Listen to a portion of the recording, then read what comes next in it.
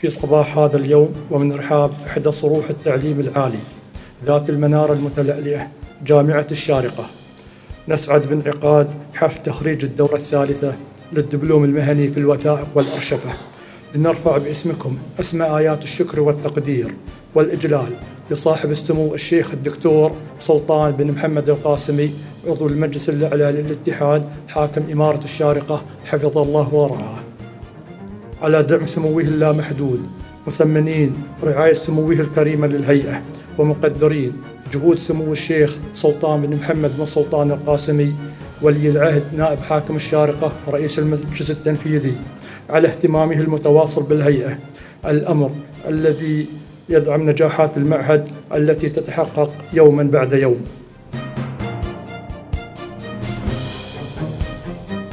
أبارك لكم هذا النجاح المتميز الذي نفخر به جميعا فهو ثمار ما زرعتم به من تفان وإخلاص ومهنية في الآداء.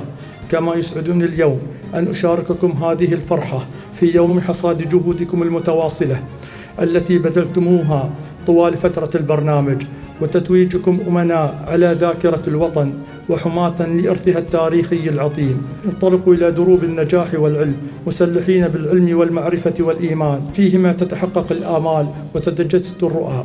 والسلام عليكم ورحمة الله وبركاته.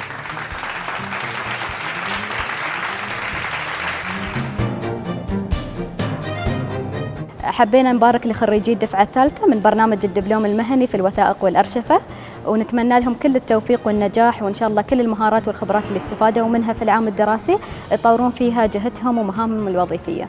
بسم الله الرحمن الرحيم. معاكم محمد تاج محمد حاج علي من بلدية مدينة الشارجة اليوم تخرجنا الحمد لله في الدبلوم المهني للوثائق والأرشفة وإن شاء الله نطور في حياتنا المهنية والعملية. معكم هند الكتبي من دارة الدكتور سلطان القاسمي مسؤولة المكتبة. اليوم كان حفل تخرجنا في الدبلوم المهني الوثائق والأرشفة. طبعا أشكر جميع الجهات اللي ساهمت في إعدادنا كموظفين آه ولنا دراية كاملة في كيفية الحفظ الوثائق وهذه إضافة جدا يعني مفيدة في عملي بحد ذاته بحكم أني أنا مسؤولة المكتبة ومعرفتي أكثر عن الوثائق وأهميته وكيفية حفظها. فأشكر كل الجهة اللي ساهمت في آه تطويرنا في جهة عملنا. Thank you.